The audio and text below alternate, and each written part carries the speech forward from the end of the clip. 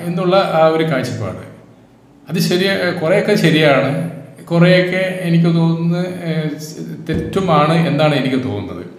പല ചില കാര്യങ്ങളൊക്കെ നമ്മൾ എന്റെ ചെറിയ പിന്നെ മക്കളോടൊക്കെ പറഞ്ഞാൽ അവർ അത് വേണ്ട സെൻസിലെടുക്കാതെ അല്ലെങ്കിൽ ആ- ആ കാര്യം ഇങ്ങനെ അങ്ങനെ ചെയ്യണം ഇങ്ങനെ ചെയ്യണം എന്നൊക്കെ കൂടി പറഞ്ഞാൽ അതിന് വേണ്ട ഒരു പിന്നെ എന്താണ് ആ ഒരു നമ്മൾ കൊടുക്കുന്ന രീതിയിലുള്ള ഒരു ഇമ്പോർട്ടൻസ് കൊടുക്കാത്ത രീതിയിൽ അവർ ചെയ്യാറുണ്ട് പ്രതികരിക്കാറുണ്ട്.